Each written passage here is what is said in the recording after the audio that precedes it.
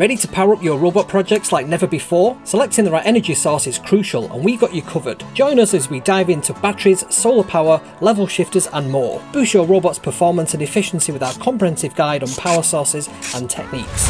Don't miss out.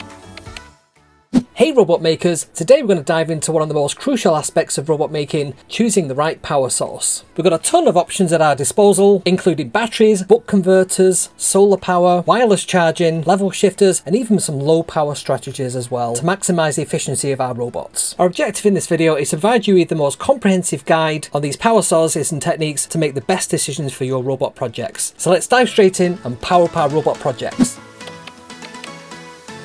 Let's talk about these classic energy sources for a moment. Alkali batteries are made up of zinc and manganese dioxide. They come in various sizes like A, AA, C and D and the PP3 9V battery variety. They are widely used because they are cheap, readily available and easy to replace. Some of the advantages of alkali batteries include their low cost, convenience and the fact that they are disposable. You can find them almost anywhere from local stores, online resellers.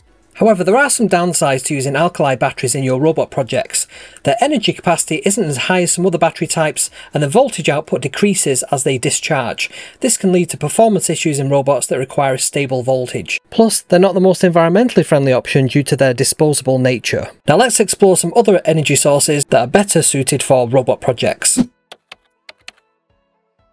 Nickel metal hydride batteries, or NIMH batteries, are rechargeable batteries that are composed of nickel hydroxide cathode and a metal hydride anode. They come in the same size as an alkali battery, but they offer some unique advantages for robotic projects. NIMH batteries have a higher energy capacity compared to alkali batteries, which means they can power our robots for longer periods. They're also rechargeable, making them cost effective and environmentally friendly in the long run. Their voltages remain stable during discharge, providing a consistent performance for our robots. However, these batteries do have some drawbacks. They are more expensive up front than alkali batteries and they suffer from self-discharge, losing their charge when they are not in use. Additionally, they are a bit heavier than alkali batteries, which could be a concern for weight-sensitive robot projects. With NIMH batteries in mind, let's continue exploring more energy sources and see which one best fits our robotics projects best. Now let's discuss lithium polymer or LiPo batteries.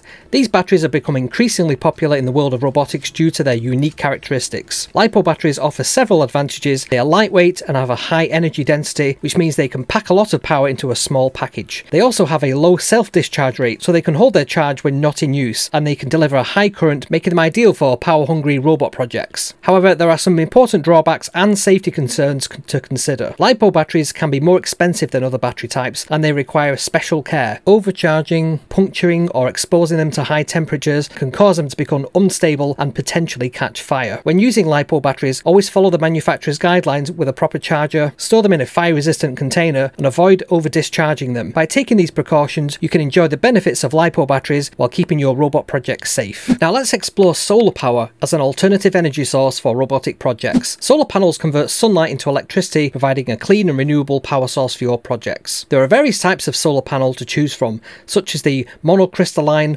polycrystalline and thin film panels. Each has its own advantages and disadvantages in terms of efficiency, cost and flexibility. Consider your robot's power requirements, operating environment and budget when selecting the right solar panel. For solar powered robots, effective energy storage and management are critical. Since solar panels can only generate power during daylight hours, you need to find a way to store the generated energy for continuous operation. Now let's discuss buck converters and their importance in robotic projects. Buck converters are a DC to DC power converter that steps down the voltage from a higher input voltage to a lower output voltage while increasing the output current. They're incredibly useful in robot projects where you need to provide a specific voltage for your component and your power source has a higher voltage than required. By using a buck converter, you can effectively convert the higher voltage to the desired lower voltage. When selecting a buck converter, consider the factors like input and output voltage range, output current and efficiency. Ensure the buck converter can handle the voltage and current requirements for your project and has an efficiency rating that meets your needs. Efficiency is crucial in buck converters as a high efficiency means less wasted energy and less heat generated. But even with a high efficiency, some heat is inevitable, so it's essential to provide proper heat dissipation such as heat sinks to prevent overheating and maintain the converter's performance. Let's move on to level shifters and their role in robotic projects. Projects. Level shifters are electronic devices that translate voltage levels between components operating at different voltages. They're essential when you need to interface components like microcontrollers and sensors that use different voltage levels to communicate. There are several types of level shifter, including voltage dividers, dedicated integrated circuits, and bidirectional level shifters. Voltage dividers use resistors to scale down voltage levels, while dedicated ICs are specifically designed to convert voltage levels in a more efficient manner. Bidirectional level shifters, on the other hand, can convert voltage levels in both directions,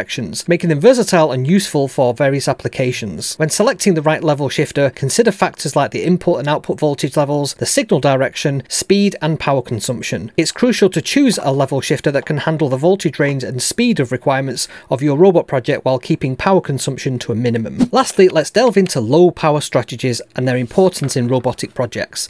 Implementing low power strategies can significantly extend your robot's battery life and optimize its overall performance. There are several approaches you can take to minimize power consumption in your robotic projects. These include using energy efficient components, implementing sleep modes, and optimizing software algorithms. By choosing energy efficient components like low power microcontrollers and sensors, you can reduce the overall power consumption of your robot. Implementing sleep modes allows your robot to enter a low power state when it's idle or not performing critical tasks. And finally, optimizing algorithms can help your robot run more efficiently, reducing both processing time and power usage. It's essential to consider these low power strategies from the initial stages of your robot project. By incorporating energy saving techniques from the start, you can create a more efficient and longer lasting robot that meets your performance goals. Now that concludes the comprehensive guide on our power sources and techniques for your robot projects. With this knowledge, you are now better equipped to make informed decisions about powering your robots and optimizing their performance. Good luck and happy building!